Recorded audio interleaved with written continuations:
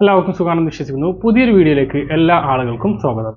ലോക്സഭ ഇലക്ഷന് മുന്നോടിയുള്ള ഇടക്കാല ബജറ്റ് അടുത്ത് വരികയാണ്. ഇതുമായി ബന്ധപ്പെട്ടുള്ള പല റിപ്പോർട്ടുകൾ ഇപ്പോൾ പുറത്തു വന്നിരിക്കുകയാണ്.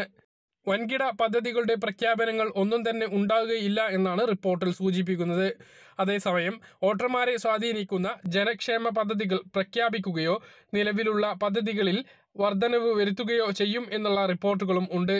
ഇപ്പോഴിതാ സർക്കാരിന്റെ മറ്റൊരു സ്വപ്ന പദ്ധതിയായിട്ടുള്ള ആയുഷ്മാൻ ഭാരത് ആരോഗ്യ ഇൻഷുറൻസ് പദ്ധതിയിൽ കൂടുതൽ പേരെ ഉൾപ്പെടുത്തിക്കൊണ്ട് പദ്ധതി വിപുലീകരിക്കാനും നിലവിലുള്ള കുറഞ്ഞ പരിരക്ഷാ തുക ഇരട്ടിയാക്കാനും സാധ്യതയുണ്ട് എന്നുള്ള റിപ്പോർട്ടുകളാണ് വരുന്നത്. ക്യാൻസർ അവയവദാനം തുടങ്ങിയ ഗുരുതരമായ സാഹചര്യങ്ങൾ നേരിടുന്നതിന് സാമ്പത്തിക സഹായം ആവശ്യമായി വരുന്നത് കണക്കിലെടുത്താണ് സർക്കാർ മാറ്റത്തിന് പദ്ധതിയിടുന്നത് എന്ന് വാർത്താ ഏജൻസിയായ പി റിപ്പോർട്ട് ചെയ്തു. ഫെബ്രുവരി ഒന്നിന് നടക്കുന്ന ഇടക്കാല കേന്ദ്ര ബജറ്റിൽ ഇത് സംബന്ധിച്ച പ്രഖ്യാപനം പ്രതീക്ഷിക്കാമെന്ന് കേന്ദ്ര ആരോഗ്യ മന്ത്രാലയ വൃത്തങ്ങൾ അറിയിച്ചു. നിലവിൽ അഞ്ച് ലക്ഷം രൂപയാണ് ഈ ആരോഗ്യ ഇൻഷുറൻസ് പദ്ധതിയുടെ ഭാഗമായി ലഭ്യമാകുന്ന പരിരക്ഷാ തുക.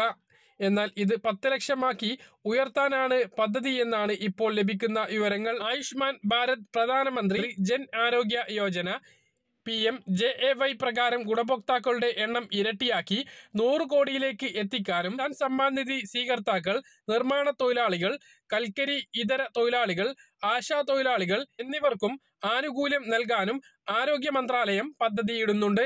അപ്പോൾ ഓരോ സംസ്ഥാനങ്ങളുമായി സഹകരിച്ചുകൊണ്ടാണ് പദ്ധതി നടപ്പിലാക്കുന്നത്.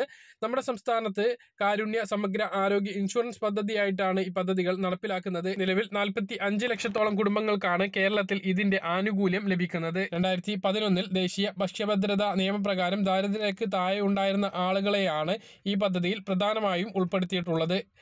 മറ്റു ചില ആളുകൾക്ക് പ്രധാനമന്ത്രിയുടെ അഭിനന്ദന കത്ത് വന്നവരെയും ഈ പദ്ധതിയിൽ ഉൾപ്പെടുത്തി. എന്നാൽ പുതുതായി വരുന്ന റിപ്പോർട്ടുകൾ പ്രകാരം സർക്കാർ ഈ ഇടെ പ്രഖ്യാപിച്ചിട്ടുള്ള നിരവധി പദ്ധതികളുണ്ട്. ആ പദ്ധതികളിൽ അംഗങ്ങളായിട്ടുള്ള വിവിധ തൊഴിലാളികളെയും കിസാൻ സമ്മാൻ നിധി ഗുണഭോക്താക്കളെയും ഈ പദ്ധതിയിലേക്ക് ഉൾപ്പെടുത്തിയേക്കും എന്നുള്ള റിപ്പോർട്ടുകളാണ് വരുന്നത്. അതായത് പ്രധാനമായും ഈ ശ്രം കാർഡ് എടുത്തിട്ടുള്ള അസംഘടിത തൊഴിലാളികളെ ഈ പദ്ധതിയിലേക്ക് ഉൾപ്പെടുത്താൻ സാധ്യതയുണ്ട്. ആശാ വർക്കർമാരെയും തൊഴിലുറപ്പ് തൊഴിലാളികളെയും പ്രധാനമന്ത്രി കിസാൻ സമ്മാൻ നിധി ഗുണഭോക്താക്കളായിട്ടുള്ള കർഷക തൊഴിലാളികളെയും എല്ലാം ഈ പദ്ധതിയിലേക്ക് ഉൾപ്പെടുത്താനുള്ള സാധ്യത വളരെയധികം കൂടുതലാണ്. എന്നാൽ സ്വന്തമായി ഈ പദ്ധതിയിലേക്ക് അപേക്ഷിച്ച് ചേരാനുള്ള ഒരു അവസരം നൽകിയേക്കില്ല എന്നാണ് സൂചിപ്പിക്കുന്നത്. ഇതുമായി ബന്ധപ്പെട്ട വിശദാംശങ്ങൾ കൃത്യമായി അറിയുന്നതിന് ബജറ്റ് പ്രസംഗം വരെയും ബജറ്റ് റിപ്പോർട്ട് പുറത്തു വരുന്നത് വരെയും കാത്തിരിക്കണം. അതുവരെ ഇതെല്ലാം അഭ്യൂഹങ്ങൾ മാത്രമാണ്. പറഞ്ഞ കാര്യങ്ങൾ കൃത്യമായിട്ട് മനസ്സിലാണെന്ന് കരുതുന്നു ഇതുപോലെ ഇൻഫർമേഷൻ ലഭിക്കാൻ ചാനൽ സബ്സ്ക്രൈബ് ചെയ്യുക ബെലൈക്കൺ എനേബിൾ ചെയ്ത് നോക്കുക. മറ്റൊരു വീഡിയോയുമായി നമുക്ക് കാണാം. ബൈ